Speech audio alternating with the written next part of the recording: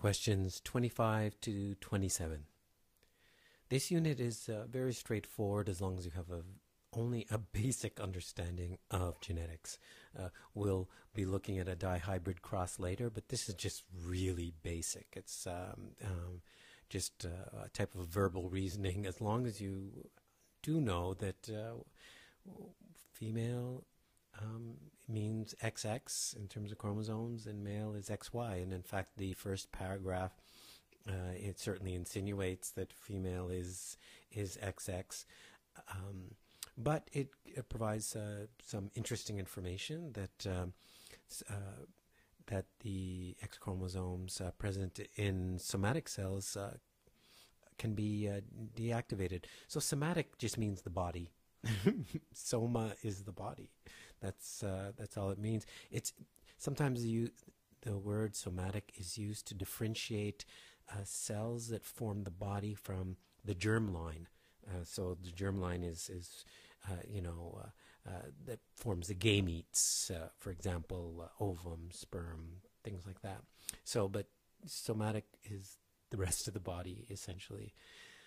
So that's the only interesting thing is that uh, you know women uh, female are XX however one of these uh, X uh, chromosomes uh, can be deactivated and it's random.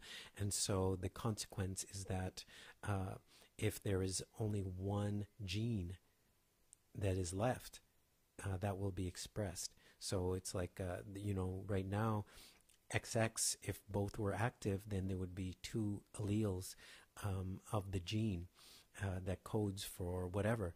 But if one of these is deactivated, then the one allele is the only gene, and so that will be expressed.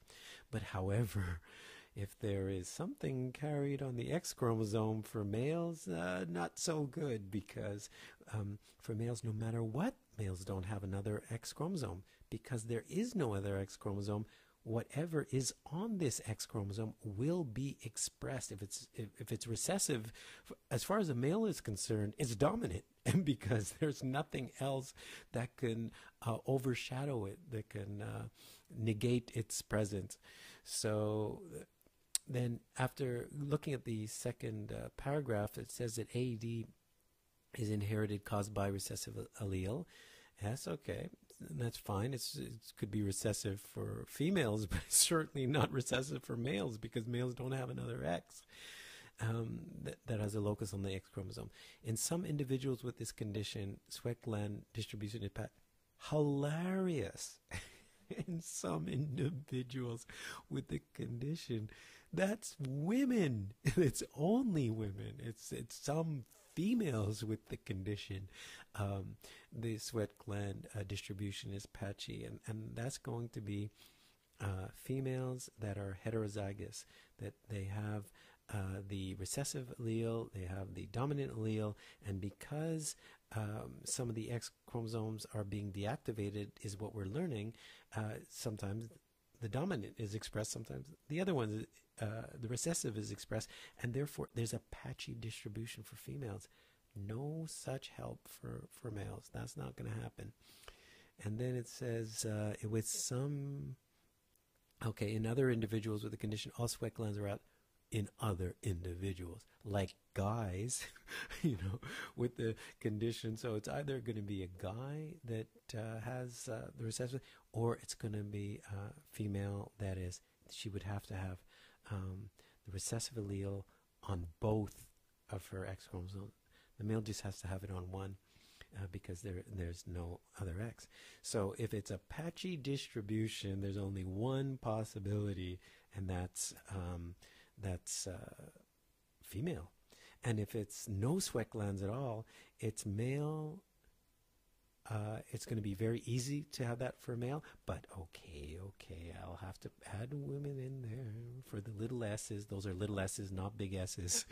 so, so um, for for a female with um, with uh, homozygous recessive, yes, and so those are the conditions, and and then uh, just learning this from the first two paragraphs, then the three answers are become apparent. So, question twenty five which is the information. So uh, you know, C. I don't know how else to say it. Only females with the condition exhibit patchy uh, sweat distribution. Uh, that is uh, very clear. Okay, so I'll just say why not the others. Um, for answer choice A, patchy distribution in, found in males and females, but is more likely in. Okay, no, patchy distribution cannot be in males because males are just going to express the X, so they have it or they don't. They have AED or they have no trace of it. it's just one or the other. So answer choice A is incorrect. Uh, B, patchy sweat distribution is equally likely in males and females. No, no, as I just said. And D, only males with the condition exhibit patchy. No, absolutely no patchy for males because there is no um, uh, additional allele uh, that can carry the dominant and then uh, difference in expression and all of that. So that that's exclusive to uh, to female. Okay, 26. So that was 25C. 26. Um, which of the following statements is not consistent, not in bold? So, you know, sometimes you might want to put some, uh, just as a strategy for the exam, uh, when you do have a, um, a negative like this, you might want to check, put check marks to every true statement or put X marks next to every untrue statement. So if you have three checks, then you know the correct answer is the other thing. If you have three X's, you know the answer is the other thing, just so that you don't uh, twist things in your mind. Okay, so females with AD can have the genotype SS. Big check mark for that. yes, not only uh, can females have SS with AED, but they would have no sweat glands at all. Um, so they wouldn't even be patchy. They would they would have no sweat glands. Answer choice B. Males with AD cannot carry the dominant allele S. That is a true statement because if they have the dominant allele S, they will they will not have AED if they have the dominant allele S because there's nothing to give them something patchy or anything else. So, uh, 26B is a true statement. I would put a check mark next to it. So, C, with respect to AED, males can have the genotype SS. Whoa, a, males cannot have a genotype that has two alleles for this condition because males only have the X chromosome. So there is no genotype with two alleles, dominant and, and small. So choice C is an incorrect statement. I would have put an X next to it, and then I would notice that it's the only of the answer choices with an X, and then I would know that has to be the answer. So 26 will be C. I'll just mention uh, D. With respect to AD, females can have the uh, genotype SS. Yes, that is correct. In fact, um, if it's patchy, it's female, and uh, um, and the genotype would be indeed uh, SS because it would be expressed differently. This one not patchy, no problems. This one uh, with the uh, no sweat glands. Not fun, by the way. you know, you might have some of your own ideas about having sweat glands, but uh, not living a life without sweat glands. Terrible, very difficult. You know, you overheat. We don't respect uh, our sweat glands enough. Uh, you know, it's um, it's uh, tremendously important. Okay, so uh, question uh, 26 was indeed C. Moving on to 27. In which of the following is AD most likely? Oh, oops, oops. Total absence of sweat glands. Total absence. Okay, no sweat glands. Here we go. so this is what we're looking for. So, A, males inheriting X chromosome with the dominant allele. No, because if if the male has the dominant allele, um, that means that they will definitely not express it because there's nothing else to do a little patchiness or something like that. So uh, A is incorrect. Males inheriting X chromosome with the recessive allele uh, from the mother. So that's exactly right.